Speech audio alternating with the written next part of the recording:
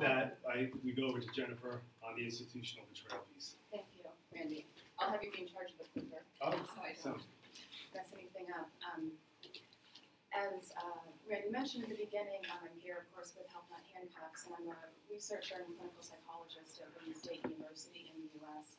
Um, what Randy has so poignantly described to us so far um, is the harm that institutions like police can do people who are using drugs. So what I want to do just briefly is to introduce a research concept called institutional betrayal that really help us understand, um, as if we need any more information from what he just showed us, all the ways in which this can be harmful for individuals. So institutional betrayal was um, developed and created by American psychologists and researchers, Dr. Carly Smith and Dr. Jennifer Freyd. And what they did here is really um, found a way to implicate institutions in harm. So it's not just that institutions have policies that aren't nice. Um, it's that actually when we see, if we take any harm, let's say a rape, um, if an institution like police reacts, behaves, responds poorly, then the mental health outcomes that are typically associated with something like rape are increased. The research has shown us that so far. And so for the next slide. Looking at what is institutional betrayal, you can see it here along two dimensions, and I'll go ahead and walk you through it. So along this um, uh, horizontal axis is apparently isolated to apparently systemic. So apparently isolated is there was that one cop that one time who killed that one person. They're a bad apple. That's apparently isolated.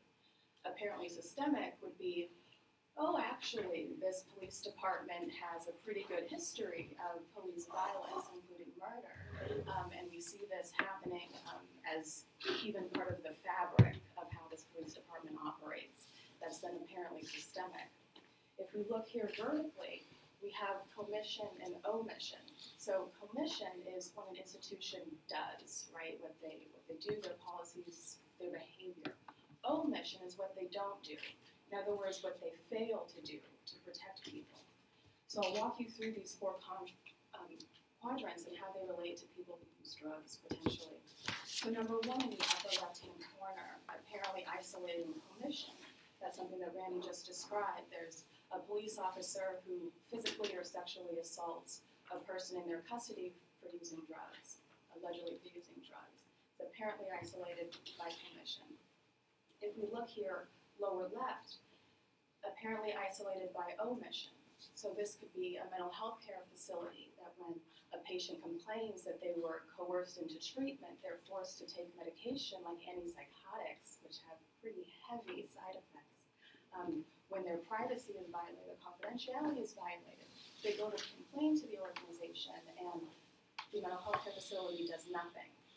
That's institutional betrayal then by omission.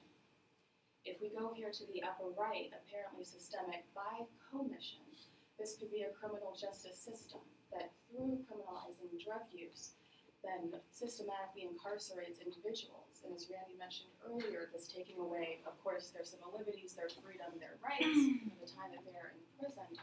Uh, but also in the U.S., it be, it's very difficult to reintegrate to society, to become employed, to vote for people in office who make these laws, and so on. And then lastly, in the lower right-hand corner, apparently systemic by omission. So we can take an example here for people who engage in problematic drug use we know that those are the minority of people who have problems with drug use, but there's still enough, right? And so, um, apparently, systemic by omission, institutional betrayal, could be not offering a range of options like harm reduction, drug quality control, and quality mental health care. For mental health care, this could include having um, therapy for drug use that does not incorporate the impact of poverty, discrimination, violence exposure, all these things that we know are linked with problematic drug use from research. Can we go to the next slide, Randy?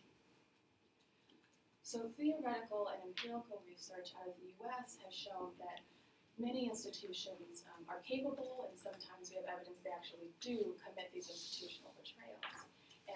remember, this is not benign, right? These actually, institutional betrayals are linked with even worse mental health outcomes on individuals the four on the bottom are the ones that might most affect people who use drugs, the mental health care system, the criminal justice system, government, um, and then, of course, police. I want to close before we kick it back over to Stanton, that nascent research now on institutional betrayal is showing that minorities are reporting higher instances of institutional betrayal, sixty percent, um, compared to um, more normative samples, mainstream samples that are reporting forty. So minorities reporting sixty percent. What this indicates to us is that like so many societal injustices, the disproportionate harm of institutional betrayal falls on people who are already marginalized in society. And with that, I'll